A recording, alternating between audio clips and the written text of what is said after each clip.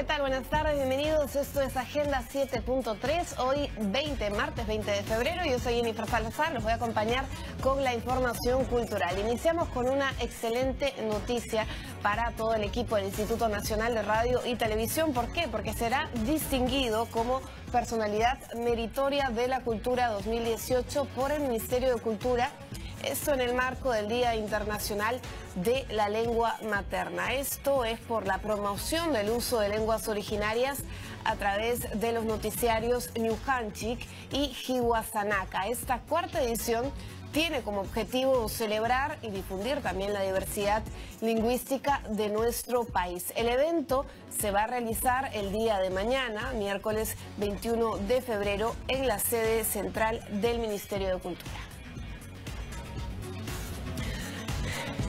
Bueno, a propósito de todas las celebraciones, el Ministerio de Cultura ha realizado un foro por el Día Internacional de la Lengua Materna. Durante el certamen se expuso el trabajo que se realiza en Apurímac, donde se busca implementar servicios públicos en quechua y en castellano.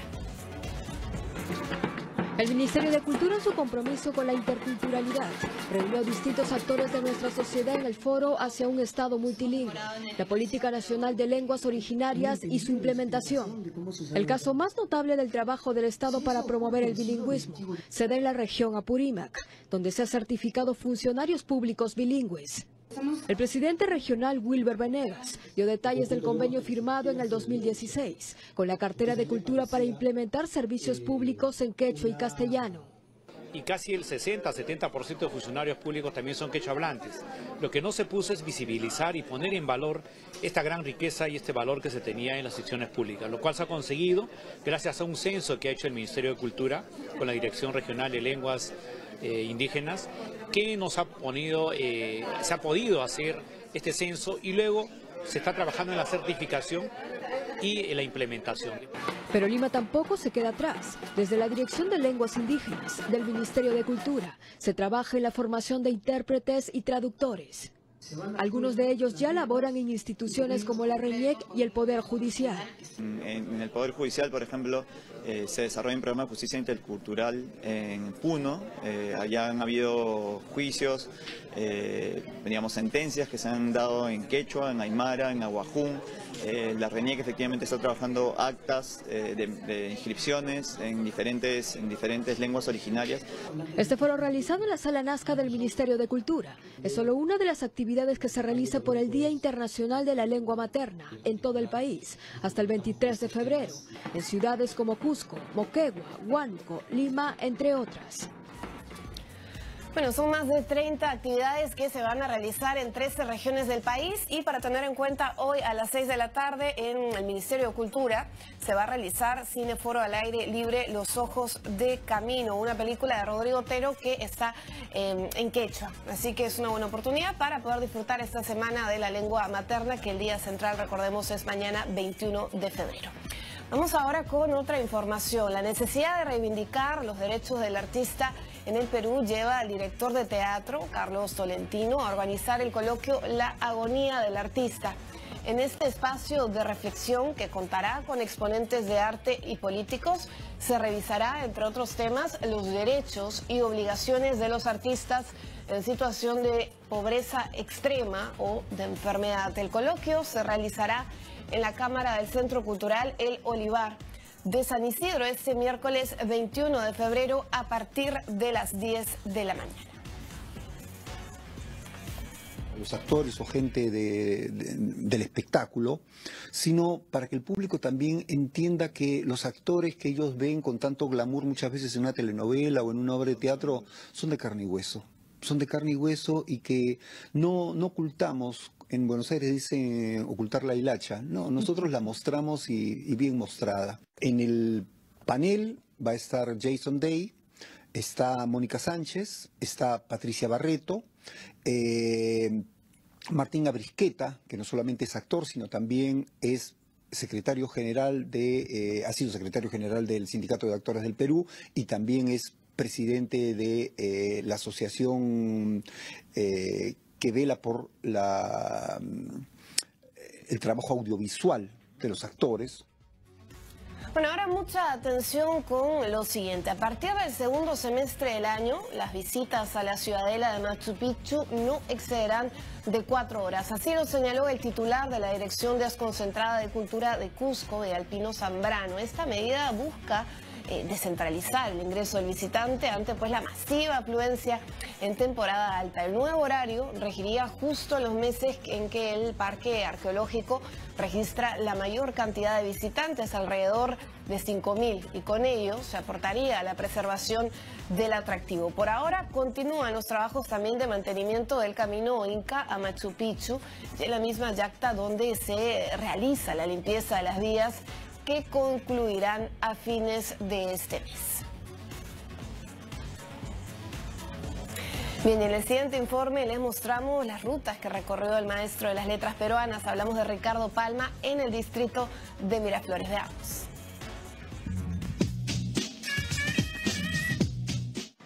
Cuando recordamos la Lima republicana es imposible no pensar en Ricardo Palma y sus tradiciones peruanas. Él a través de esas historias jocosas y llenas de ficción nos habló de la Lima de aquel entonces. Y precisamente hemos llegado hasta aquí, hasta el Parque Tradiciones y junto aquí a la estatua del gran escritor. Empezamos la ruta Ricardo Palma. De padre cajamarquino y madre cañetana, Lima vio nacer a Manuel Ricardo Palma Soriano en 1833, pero se hizo llamar Ricardo Secas cuando incursionó en el periodismo y las letras a los 15 años. Estudió leyes en el convictorio de San Carlos, hoy Casona de San Marcos. Palma y su generación agitaron el ambiente político. Apoyó a José Gálvez en el asalto a la casa del presidente Ramón Castilla en 1860, lo que le valió el destierro a Chile pero regresó al país tres años después y participó en el combate del 2 de mayo en 1866.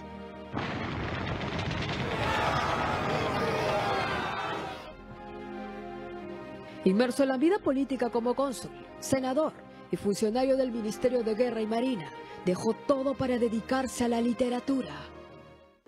Si bien hizo poesía y prensa satírica, en 1872 publicó la primera serie de su obra cumbre, Las tradiciones peruanas. En estos relatos cortos de ficción histórica, nos contó con humor e ironía cómo vivían los peruanos en el virreinato, la conquista y las primeras décadas de la República, siempre bajo una sutil crítica. Al rincón quita calzón cuando el profesor de clase falta, los alumnos hacen fiesta hasta que llega el profesor suplente. Es así que el obispo Chávez de la Rosa llegó a clase y preguntó, Alumnos, ¿qué es la oración? Molesto, el cura mandó a casi toda la clase a la esquina del salón al grito de Al rincón quitacalzón. Hasta que le tocó al más pícaro de la clase, que no dudó en hacerle una pregunta al cura. Señor, ¿cuántas veces se repite en misa el Señor esté con vosotros? El obispo no respondió y el niño le dijo, al rincón quita calzón. El cura avergonzado perdonó a toda la clase. Cuando hablamos de Palma, no solo hablamos del genial autor de las tradiciones peruanas, del literato, del periodista, del traductor, poeta, dramaturgo, sino de un héroe civil, de un gran peruano que no dudó en enlistarse en el batallón número 4 durante la guerra con Chile, en 1879, junto a otros vecinos de Lima y Miraflores, para defender la ciudad desde el reducto número 2. El Palacio Municipal de Miraflores, inaugurado en 1944, le rinde homenaje a Palma, con este mural de Teodoro Núñez Ureta. Vemos justamente en este mural también algunas escenas que nos muestran parte de lo que fue esta guerra. Está denominado, es denominado Miraflores 1 y vemos en la parte central, por ejemplo, un color amarillo intenso que representa el incendio que se dio en algunos sectores de este distrito un 15 de enero de 1881 fecha en la que don Ricardo Palma lamentablemente, a causa de este conflicto, perdió su vivienda, el lugar donde él vivía, en la calle Manuel Bonilla, actual Manuel Bonilla, y donde perdió aproximadamente 4.000 libros de su biblioteca personal, así como uno de sus manuscritos titulado Los Marañones. Cuando acabó la guerra en 1833, Palma, sin casa ni trabajo, desechó la oferta de ser director del diario La Prensa de Buenos Aires para quedarse aquí y reconstruir la Biblioteca Nacional. Ricardo Palma nació en el centro de Lima, pero fue sin duda Miraflores, donde pasó grandes temporadas de su vida. Vivió dos veces aquí. La primera, su casa fue incendiada durante la Guerra del Pacífico. Y esta es la segunda casa, ubicada en la calle General Suárez. Y precisamente hemos llegado hasta aquí para iniciar el recorrido que nos va a llevar a lo largo de sus últimos años de vida. Como sabemos, él murió en 1919 a los 86 años, rodeado de toda su familia.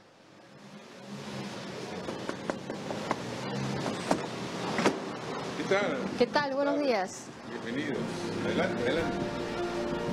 El tradicionista se mudó a esta casa alquilada en 1913, un ranchito miraflorino típico del siglo XX, de adobe, de un solo piso y un patio central. Ella viene jubilado de la Biblioteca Nacional. Es un hombre de 80 años. Es un hombre que era uno de los hombres tal vez más longevos del Perú. En aquellos tiempos la esperanza de vida en la serie era 55, 60 años. Entonces este Palma, que había enterrado tanto amigos como enemigos, viene acá y escoge el salón principal de esta casa como su despacho. No podemos hablar de su oficina, sino de su despacho.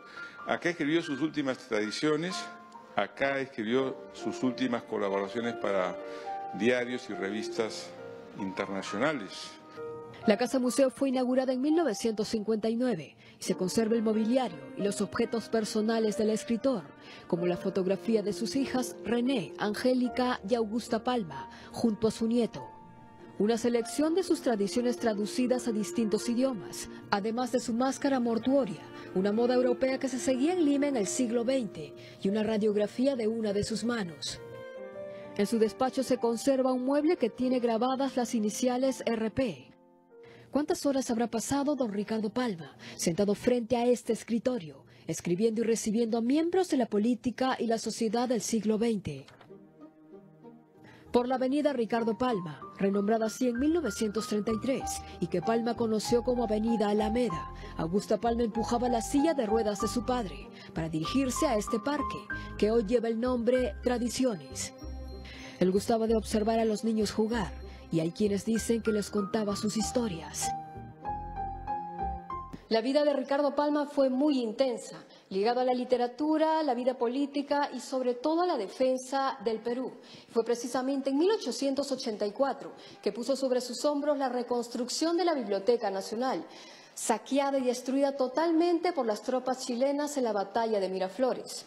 Es así que esta actividad lo llevó a tener el sobrenombre del bibliotecario mendigo. Él iba puerta tras puerta, persona tras persona, institución tras institución, recolectando libros. Y finalmente, tras 30 años de actividad como director de la Biblioteca Nacional, vino aquí, a esta casa en Miraflores. Y fue precisamente este su lecho de muerte, a los 86 años. Pasó el día 5 de octubre silencioso y cansado. Se acostó al atardecer la madrugada despertó pidiéndome que le dijera unos versos. Mañana, ahora duérmete, le rogué. Cerró los ojos tranquilo. Al poco rato lo vi suspirar profundamente de manera extraña. Corrimos todos a rodear su lecho. Su visita terrena había terminado. Eran las 4.30 de aquel amanecer. Este recorrido peatonal que nos lleva a seguir los pasos de Ricardo Palma está disponible para el público de forma gratuita y sale todos los jueves desde el Parque Central de Miraflores. No te conformes con lo que te contamos, recorre la ciudad y cuenta la historia tú mismo. Una completa ruta de nuestra compañera Claudia Álvarez que nos hace conocer al menos un poco más de uno de los grandes referentes de nuestra literatura peruana, el bibliotecario mendigo Ricardo Palmas. Con esto vamos a un corte, regresamos con más.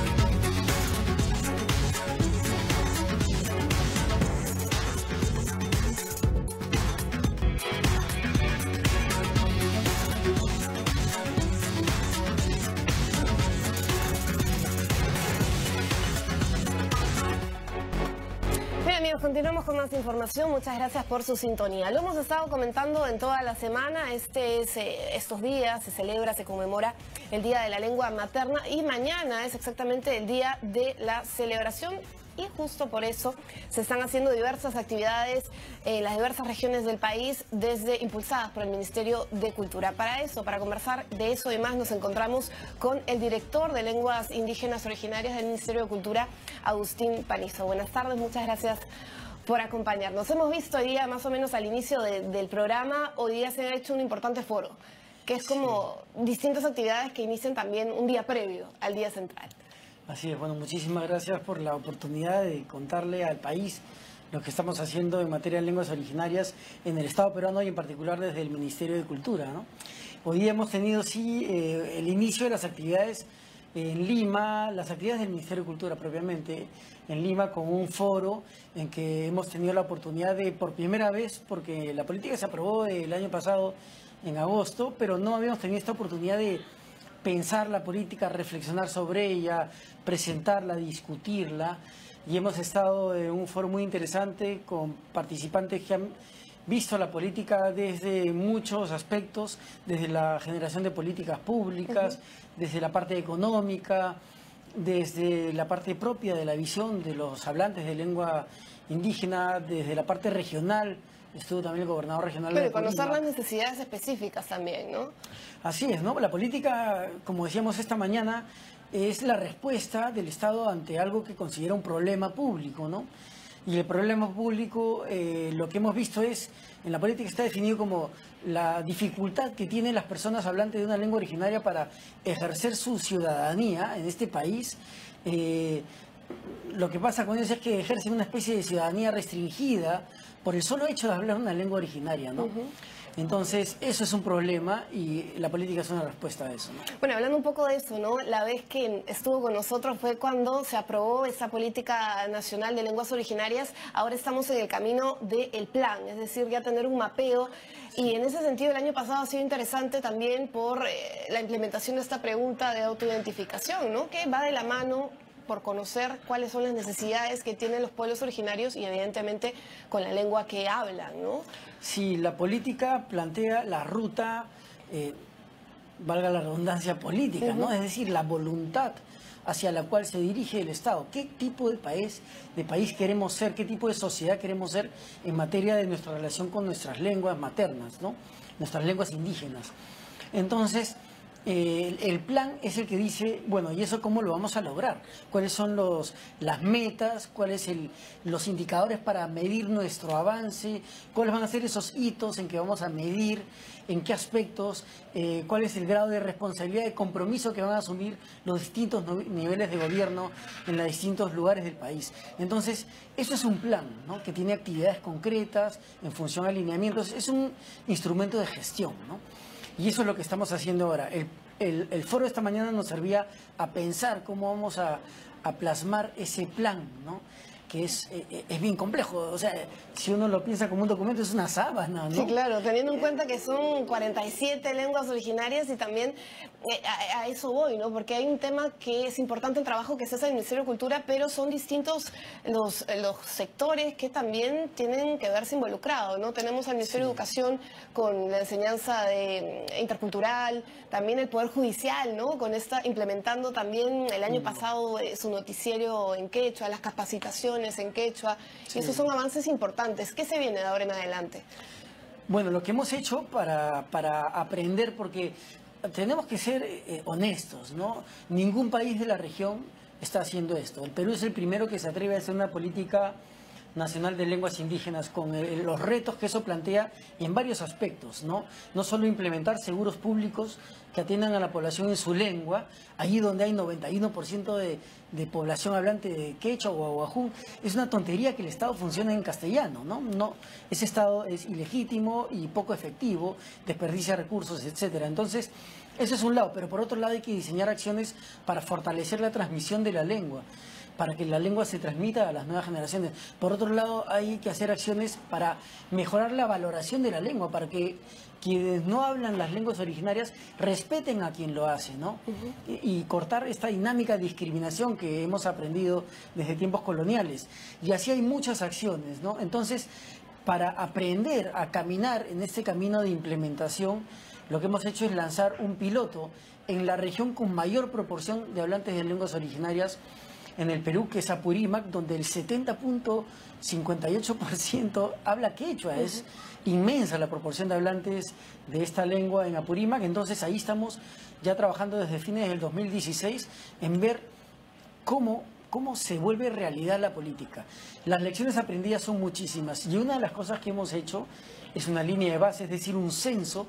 Hemos censado a 3 millares de servidores públicos y hemos descubierto que un porcentaje altísimo de ellos maneja la lengua, un porcentaje altísimo de ellos, 70%, usa la lengua en la atención a los ciudadanos y el 98%, es decir, casi el 100%, está dispuesto a mejorar su manejo del quechua porque sabe que es indispensable para atender a la población. Y preservar también la lengua, ¿no? Que es de hecho uno de los de trabajo que vienen haciendo también desde el tema de el registro de las lenguas, ¿no? Por ejemplo, tenemos Taushiro, me parece que es habla una persona o diversas lenguas que son poquitísimas las personas eh, adultos mayores y que al morir ellos muere automáticamente la lengua. Esta mañana he estado con Pablo Andrade Okagane, que es hablante de la lengua recígaro. Es uno de tres hablantes de la lengua recígaro eh, he estado con Melita Rodríguez Campos, que es una de cinco hablantes de la lengua isconagua. Eh, hemos trabajado con Amadeo García, que tú dices que es el último hablante fluido de la lengua taushiro. Y bueno, sí, el ministerio tiene por un lado el deber de la prioridad, la urgencia de trabajar ahí donde la lengua se usa muchísimo, por ejemplo, en Apurímac, donde si tienes una población tan grande que habla la lengua este, indígena, entonces su exclusión por parte del Estado es también masiva, mayor. Pero también tienes que trabajar con el otro extremo, con las personas que hablan esas lenguas que tan poquita gente habla. Porque cuando sucede eso, ese es el extremo, el resultado de un proceso largo de siglos de exclusión, de indiferencia que ha llevado a un pueblo a reducirse a esa mínima expresión. Bueno, y cifras que realmente son alarmantes, ¿no? Leí un poco la cantidad de quechohablantes en 1961 el 33%, 2007 11%. ¿Cuáles serán los resultados ahora del último censo, no? Es una forma también de, poner atención a qué se está haciendo al respecto. Sí, claro. Eh, hay que, nosotros tenemos que preguntar como país, este, eh, ¿seguimos siendo un imperio, una colonia o somos una república, somos un Estado? que reconoce su diversidad. Y si somos eso, tenemos que aprender a convivir con ella y ver en nuestra diversidad no un obstáculo para el desarrollo del país, fortaleza, sino una fortaleza y una oportunidad para desarrollarnos no como otros países, como el Perú. ¿Cómo debe ser el desarrollo del Perú? Tiene que incluir a todas sus culturas riquísimas, milenarias, ¿no? Entonces, em, estos números sí nos reflejan el descuido, la indiferencia que hemos tenido como Estado cuando hemos estado buscando ser el país, Estado-nación, con un modelo homogeneizante, castellanización forzosa. Eso ha llevado al fracaso, a una sociedad que no... Una herencia colonial también, ¿no? Que, que sería remontarnos un poco también a los rezagos de la discriminación, ¿no? Porque parte de la pérdida de la lengua va de la mano con este tipo de actos que aún persisten, lamentablemente, ¿no? Bueno, es que hemos sido educados, hay que reconocerlo, ¿no? Este, todos hemos sido educados en el país, educados en la discriminación, ya sea porque nos han enseñado a, recibir discriminación, como porque nos han enseñado a, eh, infligir discriminación, a ser discriminadores, ¿no? Pero en ese sentido también los medios de comunicación tenemos una responsabilidad tremenda, ¿no? En no fortalecer cánones erróneos, ¿no? Y no es por, por alabarnos nosotros mismos, pero es interesante también eh, estas iniciativas, Hiwasanaka, Ñohanchik, el Poder Judicial, que también tiene un noticiero, y ahí es como voltear la mirada de qué estamos haciendo también desde los diversos no sé, desde el Ministerio de Educación, desde los medios de comunicación. Hay bastante trabajo por hacer en ese sentido. Eh, eh Perú y RTP ha, cosechado muchísimos éxitos a partir de su de su acertada decisión de desarrollar estos noticieros en, en Aymara, en Quechua, y después el magazine eh, Ayánica, ¿no? En Radio Nacional. Eh, eh, los éxitos han venido de todos lados, hasta, hasta eh, gente que se ha interesado en auspiciar, ¿no? Eso yo lo sé. Entonces, eso revela que, caramba, era algo que se debía hacer hace muchísimo tiempo y si no lo hemos hecho es por trabas ideológicas, ¿no?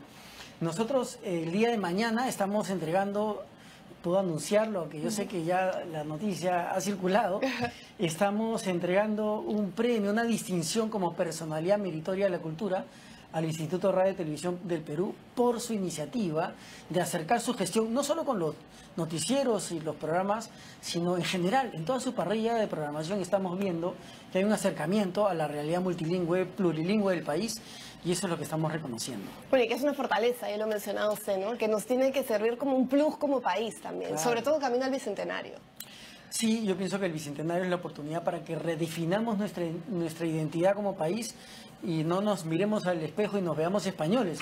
Nos miremos al espejo y nos veamos de nuestra diversidad en todo su esplendor. Bueno, el tiempo nos gana brevemente de repente ¿qué, cuáles son las actividades que se sabemos que son distintas actividades que se van a hacer en las distintas regiones, pero lo más cercano, Lima, ¿qué, tenemos en Lima? ¿Qué tenemos en distintos puntos del país? El programa de celebraciones por el Día Internacional de la Lengua Materna incluye 38 actividades en 13 regiones del país durante más de una semana y en Lima hemos concentrado un conjunto de actividades que comenzaron el domingo, hoy en la mañana. Estamos haciendo eh, talleres de lenguas. Uno puede entrar a la página web, al Facebook del Ministerio y encontrar toda la programación, pero te menciono unas cuantas. Esta noche tenemos un cineforo al aire libre, una película enteramente en quechua, subtitulada, en la que vamos a comentarla después. Esto es Bajo el cielo, esperemos estrellado en Lima, ¿no? Perfecto para este clima. Mañana, son actividades gratuitas también, ¿cierto? Todas las actividades son, son libres, ingreso libre. Eh, mañana miércoles tenemos un taller de enseñanza de la Aymara, luego tenemos la ceremonia de distinción de la personalidad meritoria de la cultura con IRTP premiado, pero además un lingüista, Gustavo Solís, un amigo nuestro, eh, pero no premiado porque es amigo nuestro, sino que yo digo porque yo soy lingüista, ¿no? También. Y eh, dos hablantes de lenguas originarias, lengua isconagua y lengua recíbaro. Luego, a las seis de la tarde, y esto yo creo que queremos invitar a todo el mundo que venga, en la explanada del Ministerio de Cultura entre el edificio y la Javier Prado, ahí al aire libre, un concierto, gratuito que es el cuarto encuentro de voces con rap, con este, cumbia amazónica, con rock de Uchpa, con Josefina Añagüez, cantante apurimeña, eh, con mucha información eh, y mucha música para bailar al aire libre. Eh, y reconocernos como eso, ¿no? Como un país diverso, con tantas lenguas y por mucho trabajo por hacer. El tiempo nos gana. Muchísimas gracias por toda esta información. Director de Lenguas Originarias Indígenas del Ministerio de Cultura, Agustín Panizo, y dando un poquito los detalles de todo lo que va a haber esta semana. Igual nosotros vamos a ir informando en Agenda 7.3 estos días. Muchísimas gracias por acompañarnos. Con esto nos vamos. Nos ganó el tiempo. Adiós.